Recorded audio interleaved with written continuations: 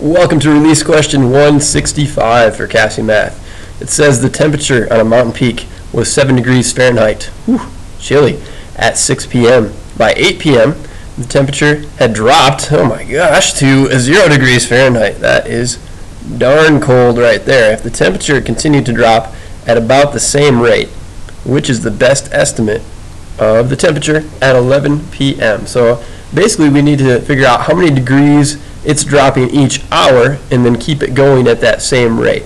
So from 6 p.m. to 8 p.m., that's two hours. And from 7 degrees to 0 degrees, that's a drop or a negative temperature. That's a drop of 7 degrees Fahrenheit. So think of that as negative 7 degrees. So you're dropping 7 degrees like that. So from 8 to 11 p.m., that's going to be 3 more hours. But if we take these two things and put them together, let's think of these two things together. This would be a drop of 2 hours.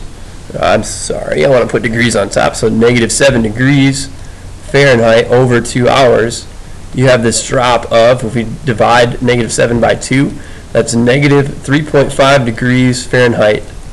It's dropping that much each hour. So going down negative 3.7 or 3.5. We've got three more hours. So from here to here, we're going to be starting at 0.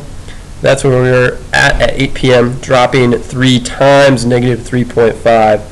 So we can say that we have 3 times negative 3.5 is going to equal, if we do negative 3 times 3, that's negative 9, and then 3 times 0.5 more, that would be 1.5. So that put together would be negative 10.5 degrees.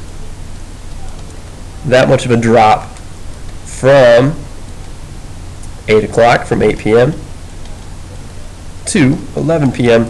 That means since you started at 0 degrees, we're taking 0, we're subtracting 10.5 from that, and we get negative 10.5. If this wasn't 0, we'd have something else instead of just the same number, but it is 0, so we have negative 10.5 degrees Fahrenheit at 11 p.m. And with our answer choices, looking at that, it's definitely not going to be negative 20, negative 14, a little too high there. This would be your actual temperature. And so if it was negative 9.5, I would say this is a bad question because it's not real close to, to either one. I guess we could round up to negative 10, but it's negative 10.5. Clearly, of our answer choices, this is closest to negative 10 degrees. And so our answer for this one would be choice choice C. I meant to circle this part right here. That's not our final answer. My bad. So I will circle that one instead. If you're in my CAHSEE math class, let's do that instead. Okay, so that is closest. This is our final answer. Negative 10 degrees Fahrenheit. Choice C for 165.